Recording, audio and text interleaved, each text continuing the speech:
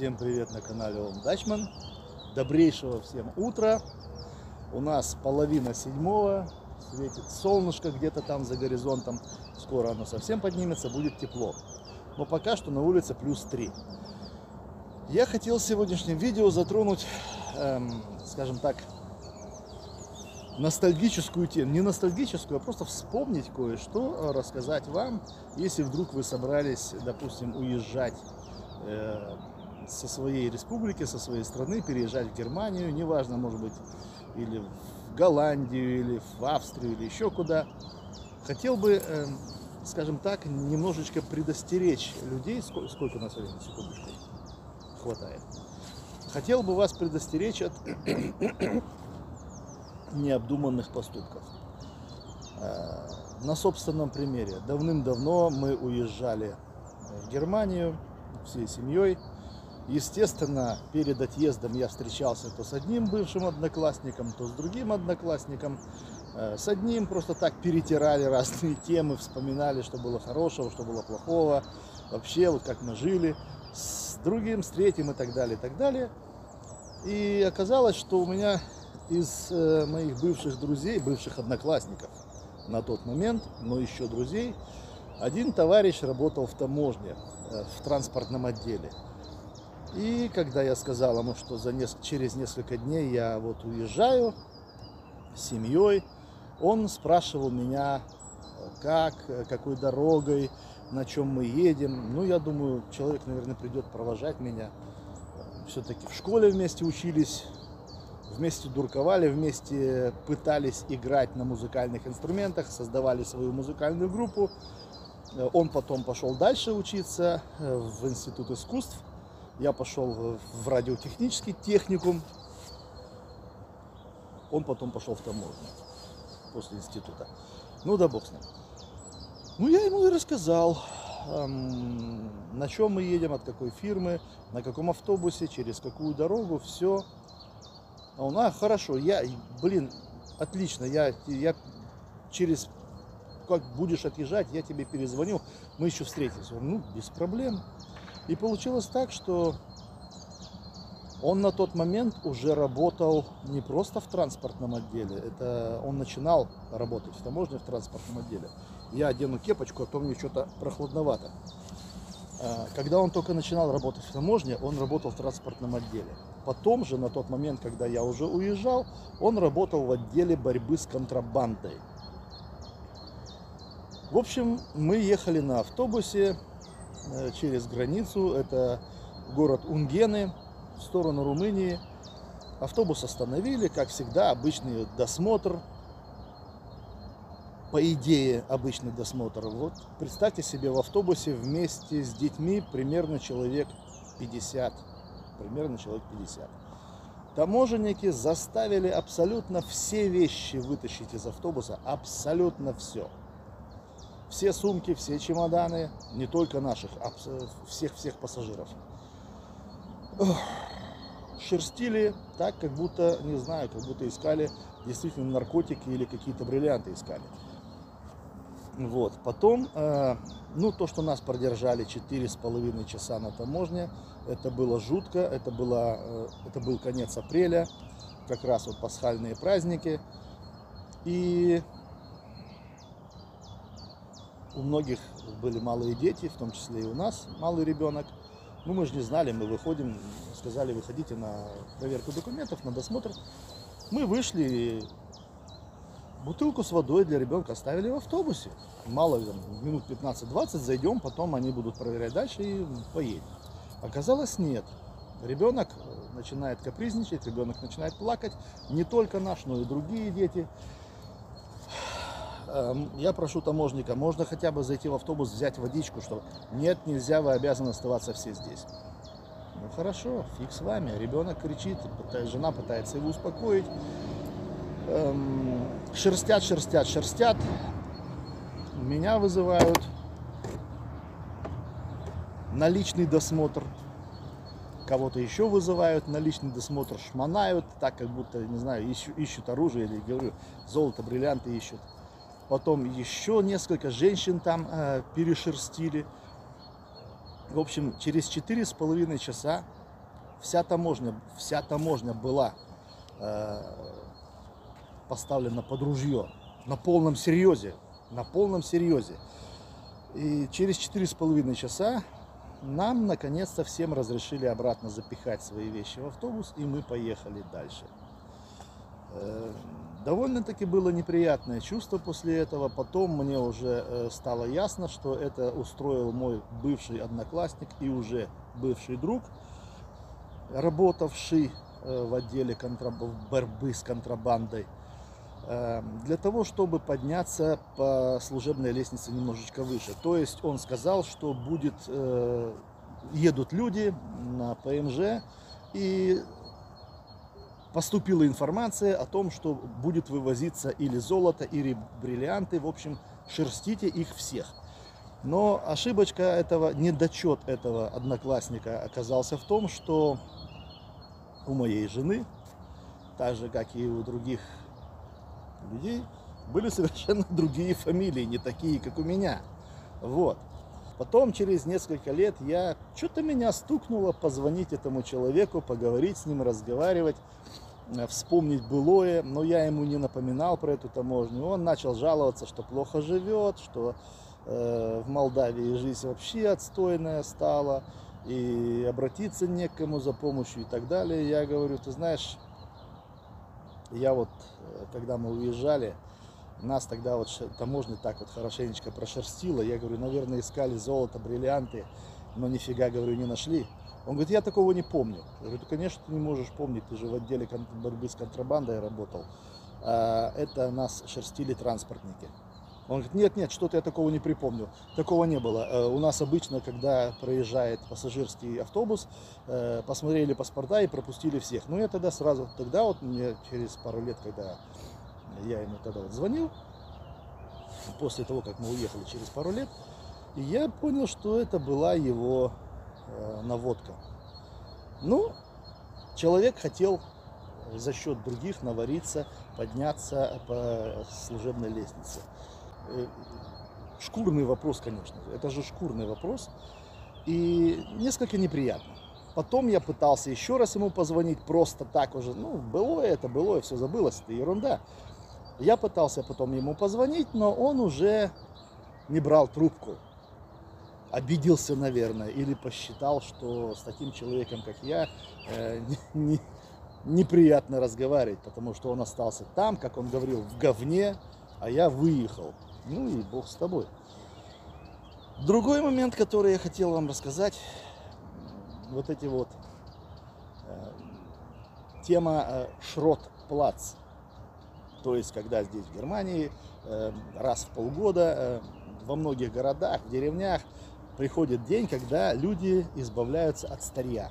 Старая мебель, старая радиоэлектроника, какие-то вещи.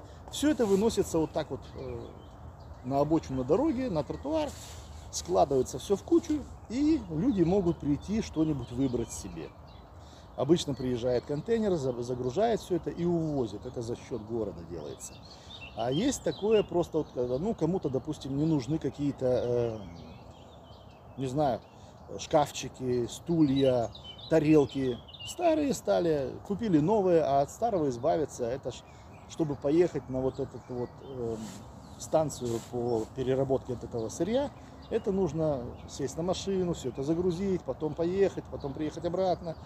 Это муторно, проще вынести вот так вот во дворе, перед забором, выставить и написать бумажку. Можете брать бесплатно. Также проще. И многие люди берут, не чураются, это не зазорно. Мы когда только-только приехали, в первые несколько месяцев, мы когда жили в общежитии в городе Вайден, я, я с такого вот э, шрот-плаца приволок э, в общежитие два огромных телевизора. Один был телевизор Грюндик, второй был э, Philips действительно огромные, 67 э, сантиметров диагональ, они были в рабочем состоянии. Они были действительно в рабочем состоянии. Потом я приволок кресло. В этом кресле мы сидели все по очереди. Нормальное, хорошее кресло было. Естественно, в квартиру мы потом его не взяли. Вот. Кто-то там еще приволок себе э, полностью мебельный гарнитур, вот это вот диван, э, уголок вот этот вот с креслом, два кресла было, а одно двойное кресло, одно одиночное кресло и вот этот диван, уголок, э, как под кожу э, серого цвета, такого как, как слон серый цвет, притащили, это все было бесплатно. Интересно, вот так вот интересно бывало, конечно. Многие люди до сих пор живут тем, что они промышляют на таких вот местах. То есть они э, ездят, покупают себе маленькие вот эти вот бусики, маршрутки, да, Volkswagen вот эти вот транспортеры э, или фордики транспортеры. Они ездят по таким местам, они собирают, допустим, вот эти вот старые вещи, э, допустим, возят э, где-то в Болгарию, в Румынию, продают все это там, здесь берут бесплатно, везут туда, продают, тем они и живут.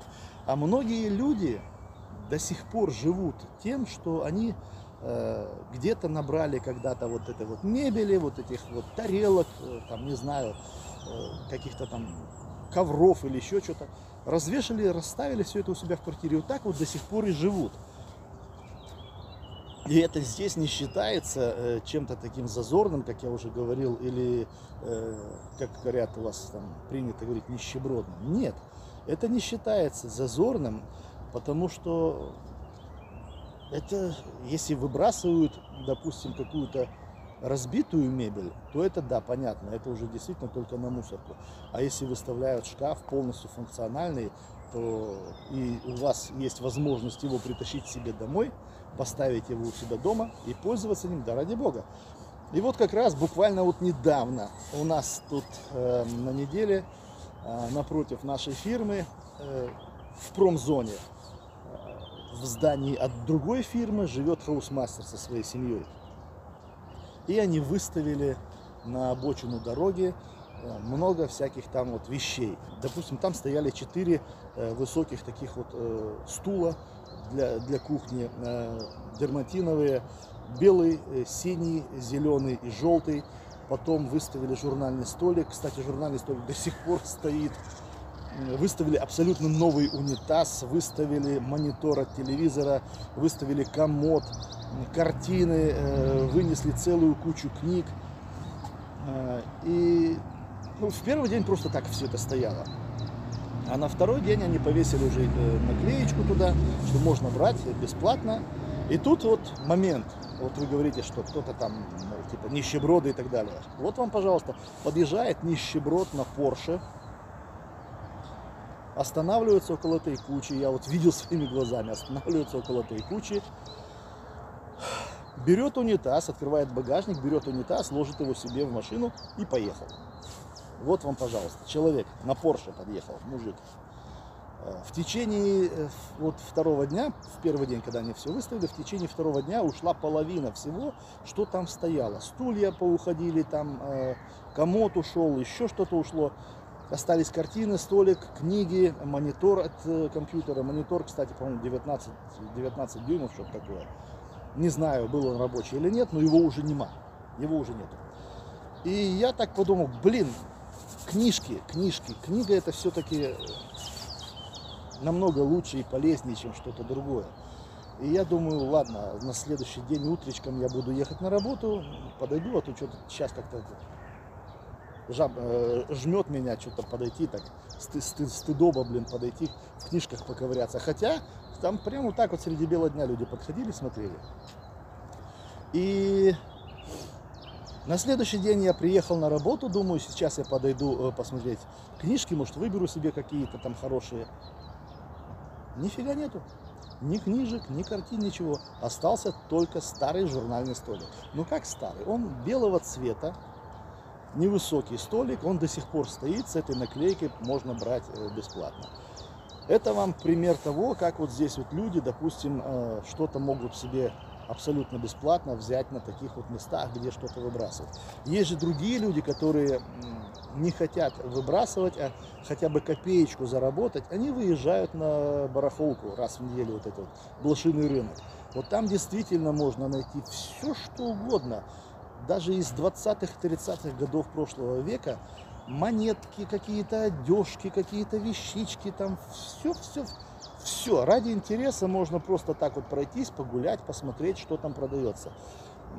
кто-то что-то покупает, там даже сотовые телефоны, вот эти вот самые первые модели, которые уже сейчас вообще не, не принимают частоту, вот эту радиочастоту, даже такие телефоны продаются, Сименсы, там, э, Грюндики какие-то, Алькатели, там еще что-то. Очень много товара, который сегодня вообще уже нигде не котируется, но людям просто жалко его выбросить на мусорку, и они выезжают, платят за это место и стоят там весь день, иногда по два, по три дня стоят э, с целью продать. А вось счастье или удача улыбнуться этим людям, и они хоть какую-то копеечку себе на вот этом наварят. Бывает такое, что да, люди живут этим вот этим, что они э, где-то скупают по дешевке, э, продают подороже. Бывает такое. Ну, это нужно э, иметь такую вот жилку коммерческую, скажем так, для того, чтобы заниматься вот этим, для того, чтобы уметь вот это вот делать. Ну, кому что, каждому свое. Но вот так вот живут здесь люди. Просто это так вот, чисто вот э, спонтанно я захотел вот э, снять вот для вас видео. Э, может быть, кому-то будет интересно, как вот э, уезжать, допустим, переезжать в Германию, на что нужно обратить внимание, если у вас есть друзья в таможне и так далее, пусть они остаются друзьями, потому что до тех пор, пока они ничего не знают, они ваши друзья. Как только они узнают что-то из ваших личных, скажем так, планов, это уже, они уже переходят из категории друзей в категорию наблюдающих, а потом уже э, в категорию ваших противников. Это не только на моем примере, это очень много людей, которые вот через это вот прошли, и осталось негативное отношение к тем людям, которые как бы их провожали раньше. Так что имейте в виду, ребята, всем удачи, не забудьте подписаться на этот канал, если кто еще не подписан, поделиться видео с друзьями, ну и до свидания. Оставайтесь с нами. У нас всегда есть что-то новое и полезное. Всем удачи.